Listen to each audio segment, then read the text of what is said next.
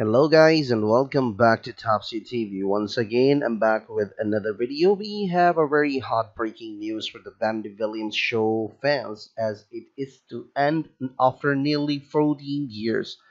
As everybody knows, Wendy Williams is officially ending her talk show after nearly 14 years and Wendy Williams has hosted her controversial self-titled syndicated daytime talk show since 2008 and she's been known to serve drama with celebrities.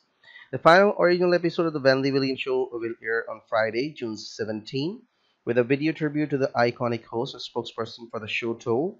After exclusively sharing the news with Variety, the series comes to an end after 13 successful years in syndication.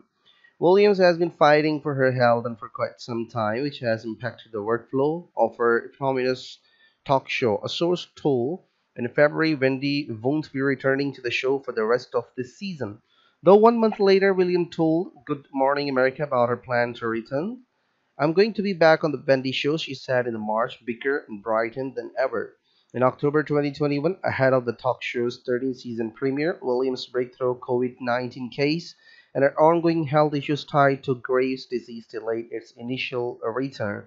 The premiere episode was delayed one more to October 18 despite Williams' recovery from COVID-19.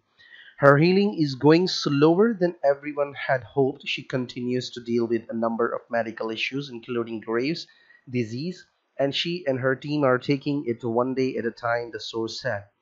What are your thoughts? Do tell us in the comment section below. I hope you liked the video. Subscribe and thanks for watching.